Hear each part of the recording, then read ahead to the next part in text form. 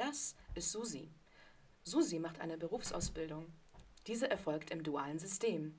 Hierfür hat sie einen Ausbildungsvertrag mit ihrem Arbeitgeber abgeschlossen. Die duale Ausbildung findet an zwei Lernorten statt, dem Betrieb und der Berufsschule. Diese ergänzen sich gegenseitig durch die Vermittlung von Praxis und Theorie. Ziel der Ausbildung ist die Vermittlung von Handlungskompetenzen.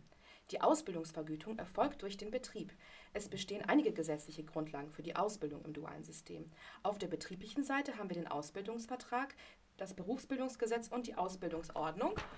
Auf der schulischen Seite bilden die Rahmenlehrpläne sowie diverse Schulgesetze die Basis. In der Schule findet der Unterricht im Block oder ein bis zweimal die Woche statt.